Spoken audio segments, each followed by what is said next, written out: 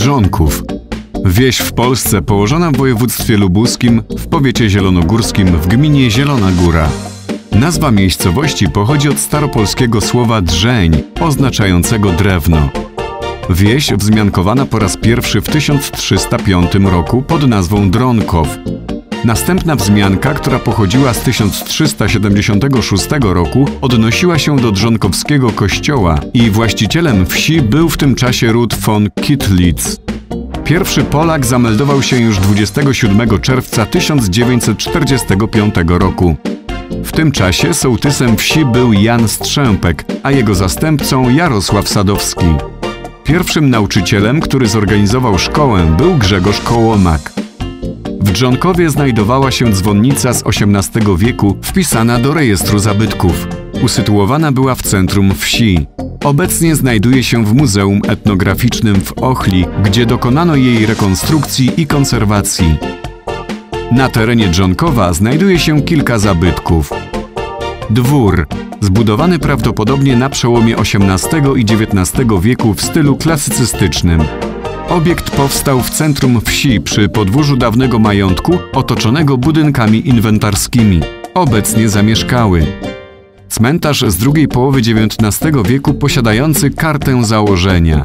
Wcześniej znajdowała się tutaj kaplica ewangelicka, jednak została wyburzona ze względu na jej zły stan techniczny. Obelisk z początku XX wieku. Pozostałość pomnika z 1923 roku upamiętniającego poległych mieszkańców Drenkał w czasie I wojny światowej. Znajduje się on na terenie starego cmentarza i jest częścią tutejszego lapidarium. Remiza strażacka, wybudowana w 1934 roku, objęta ewidencją konserwatorską. Obecnie przebudowana na potrzeby Centrum Społeczno-Kulturalnego Wsi. Jednym z celów sołtysa wsi Dżonków jest integracja mieszkańców. Mimo tego, że jest pierwszą kadencję, ma na swoim koncie zorganizowanie wielu imprez okolicznościowych, festynów i pikników. Jestem sołtysem Drzonkowa pierwszą kadencją, ale mieszkam tutaj od urodzenia. Nasza miejscowość nie jest największą miejscowością w gminie Zielona Góra, ale Zota może być dumą naszej gminy. Jest to sympatyczna wioska zamieszkała przez życzliwych ludzi.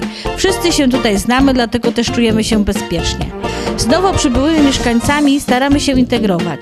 Organizujemy pikniki, festyny i zabawy. Myślę, że to nam się udaje. Poza tym w naszej wsi szczególnie współpraca między Radą Sołecką a naszymi stowarzyszeniami układa się wzorowo. Dlatego nie ma tutaj żadnych waśni, a świetlica, w której się znajdujemy, jest maksymalnie wykorzystywana. We wsi mieszka wielu aktywnych działaczy społecznych, jest kilka organizacji pozarządowych. Rada Sołecka oraz Stowarzyszenie Babiniec brały czynny udział w organizacji corocznego święta gminy, które miało miejsce właśnie w Dżonkowie. Z okazji partnerskiego święta gminy Rada Sołecka wraz y, z, z, ze Stowarzyszeniem Babiniec przygotowała mały poczęstunek. Między innymi bigos, smalec z chlebem, bigos, y, ziemniaki gotowane w kotle. Zapraszamy wszystkich mieszkańców gminy. Naprawdę cieszą się i baby drzonkowskie, i faceci również. Dlaczego? Dlatego, że umiemy wspólnie ze sobą rozmawiać, poznajemy siebie wzajemnie, tak od podszewki, nie tylko od święta. Umiemy rozwiązywać wspólnie problemy i to jest najważniejsze. E, A jeszcze pewnie ważniejsze to jest to, że potrafimy wspólnie patrzeć w przyszłość, myśleć o Drzonkowie i myśleć w taki sposób, żeby Drzonkowianie byli z tego zadowoleni. Jedną z największych organizacji w gminie jest Stowarzyszenie Dobry Start, dawniej Stowarzyszenie na Rzecz Rozwoju Wsi Drzonków. Stowarzyszenie prowadzi trzy świetlice wsparcia dziennego w Zatoniu, Suchej i Drzonkowie, trzy drużyny piłkarskie, klub krótkofalarski SP3PJE, dwa punkty biblioteczne, wydaje lokalną gazetę, nagrywa filmy. Jako drużyna Old Boys spotykamy się już od kilku lat, e, regularnie trenujemy, no gramy też w lubuskiej e, lidze Old Boyów i to już, no, ja, ja nawet już nie pamiętam ile lat, co prawda ja też nie gram od początku, ale jest to dosyć fajna zabawa i takie turnieje też staramy się też w nich uczestniczyć. No, myślę, że też duża rola tutaj jest e, w tym Urzędu Gminy, który nas wspiera i pomaga w tym, żebyśmy mogli w tych rozgrywkach grać, także tutaj myślę, że to jest cenna inicjatywa i takie turnieje i te rozgrywki.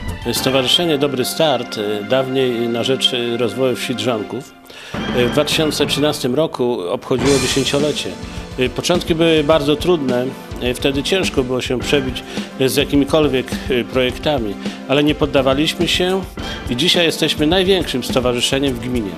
Działania na rzecz rozwoju edukacji zostały uhonorowane najwyższym wyróżnieniem na polu oświaty w województwie lubuskim, lubuskim laurem oświaty, przyznawanym przez Sejmik Województwa Lubuskiego w kategorii samorządy i stowarzyszenia oraz zostali także zwycięzcami w Lidze Inicjatyw Obywatelskich. Stowarzyszenie Dobry Start wspólnie z przedstawicielami samorządów, organizacji pozarządowych oraz biznesu z terenu powiatu zielonogórskiego zainicjowało powstanie stowarzyszenia Lokalna Grupa Działania między Odrą a Bobrem, którego celem jest realizowanie lokalnej strategii rozwoju w ramach projektu LIDER finansowanego z Programu Rozwoju Obszarów Wiejskich ze środków Unii Europejskiej. Wieś Drzonków dominuje w gminie Zielona Góra w zakresie pozyskiwania zewnętrznych funduszy. Tutaj zrealizowano projekty z programu Młodzież, Fundacji Wspomagania Wsi, Euroregionu Sprewa Nysa Bóbr, Ministerstwa Sportu, Urzędu Marszałkowskiego, Europejskiego Funduszu Społecznego, Programu Rozwoju Obszarów Wiejskich, Funduszu Spójnościowego czy Narodowego Programu Przebudowy Dróg Lokalnych. Projekt Wiedza naszą przyszłością realizowany jest przez Publiczne Gimnazjum w Drzonkowie w ramach Europejskiego Funduszu Społecznego, a dokładnie programu operacyjnego Kapitał Ludzki za działanie e, 9.1. E, Projekt ma wartość prawie miliona złotych. Zrealizowanych zostało ponad 2000 zajęć dodatkowych dla uczniów, w tym również dodatkowe wyjazdy, jak i również spotkania z przedsiębiorcami i z przyszły, przyszłymi pracodawcami. Do historii Dżonkowa wpisało się wielu działaczy, także sportowych. Z piłką nożną związany jestem od lat 70. Z kolegą, z kolegą Niedzielą y, Ryszardem prowadziliśmy LZS Żonków. Następnie założyliśmy mm, stowarzyszenie DK Żonkowianka, które prowadzimy do dzisiaj, odboje. Gramy do tej pory. Propagujemy y, sport i tenis wśród młodzieży. Czynnie wykorzystujemy boiska, które są na terenie Wosji Drzonków. No i kort tenisowy, który prowadzę do dziś, od lat 90. Dużo młodzieży y, gra w piłkę nożną i w tenisa zimnego. Ale to z dzieciństwa się wzięło, bo to jak to na wsi nie było innych zajęć, nie? No to się biegało, wiadomo co, piłeczka najważniejsza była. No, tak właściwie, a poważnie z piłką to zacząłem od LZS-u w Dżonkowie, gdzie boisko mieliśmy za wioską kierunku Zatonia. Z hobby przerodziło się w działalność. To wtedy prowadziłem trampkarzy, juniorów, oczywiście seniorów Racula, z którą awansowaliśmy do A-klasy. To były wspaniałe przeżycia z tymi chłopakami, aż łezka wokół się kręci.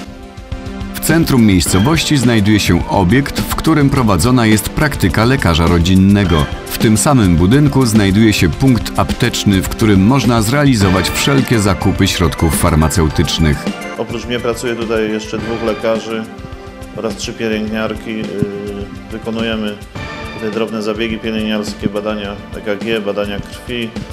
Prowadzimy szczepienia, leczenie różnych chorób ostrych i przewlekłych i jeździmy również na wizyty domowe. Nasza, nasza przychodnia się rozwija, gdyż mamy coraz więcej pacjentów z okolicznych miejscowości, z Raculi, z Żonkowa, z Suchej, z Zatonia i nawet z Zielonej Góry. Także staramy się rozwijać tą przychodnię, wydłużyć, wydłużać godziny przyjęć, a nawet myślimy o zakupie jakichś nowszych sprzętów i zap- zapraszamy pacjentów na naszej przychodni, gdyż, gdyż w takich miejscowościach które również y, coraz, coraz bardziej się rozwijają, takie przychodnie mają przyszłość. W ostatnich latach w Dżonkowie zrealizowano kilka inwestycji, Między innymi ulicę Podgórną, Słoneczną, przy finansowaniu ze środków własnych, a także powiatu i Narodowego Programu Rozbudowy Dróg Lokalnych. Cóż, od 9 lat jestem mieszkańcem Dżonkowa powiem szczerze, że na początku pomimo zakupu nieruchomości byłem bardzo zadowolony, natomiast no, jeśli chodzi o dojazd do, do, do posesji, no, było ciężko. Była to droga tak naprawdę piaszczysta, zwykła gruntowa z dziurami. Wiadomo, auta się niszczyły, kurzyły i tak dalej, tak dalej. Natomiast parę lat temu została poczyniona dosyć super dla nas y, inwestycja. Została zrobiona droga asfaltowa z pięknymi chodnikami, więc wreszcie normalnie można dojechać do, do naszych domów. Samo to podróżowanie dzieci ze szkoły w tej z powrotem no jest bezpieczniej, są chodniki, tak jak powiedziałem wcześniej, studzienki, które odprowadzają wodę deszczową, także odśnieżana jest ta droga zimą. Także no, same, same superlatywy.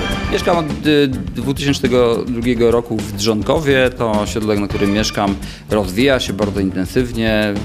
Przeżywamy wspólnie radości drobne, wynikające chociażby z budowy oświetlenia na naszym osiedlu, czy też na zamieszkanie większej ilości społeczności. Staram się być aktywny y, w życiu y, gminy. Wybieram radnego z mojej gminy i go znam. Znam również e, oczywiście kierownictwo gminy z ramach obowiązków e, swoich służbowych, e, części radnych, a przede wszystkim jednak e, ludzi, którymi współpracuję z gminy, to są członkowie druhowie ochotniczych straży pożarnych e, z e, naszych wszystkich jednostek OSP.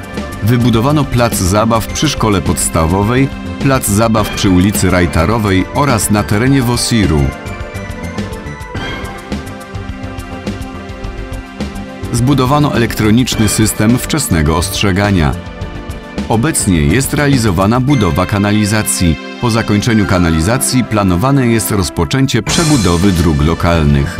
Inwestycje realizowane w Dżonkowie podyktowane są szybkim rozwojem wsi, dużym napływem nowych mieszkańców oraz budową nowych osiedli.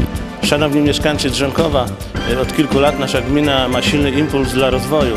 Y, Przeżyliśmy największą gminną inwestycję y, budowę drogi rajtajowej z programu tzw. schetynówki. Y, Przeżyliśmy największą powiatową inwestycję w gminie budowę drogi słonecznej aż do Suchej. Dzisiaj prowadzimy największą inwestycję w historii Drzonkowa budowę kanalizacji z programu spójnościowego i wierzę, że także ją doprowadzimy do końca. Po kanalizacji rozpoczniemy budowę lokalnych dróg, a pieniądze na to pozyskamy z programu rozwoju obszarów wiejskich.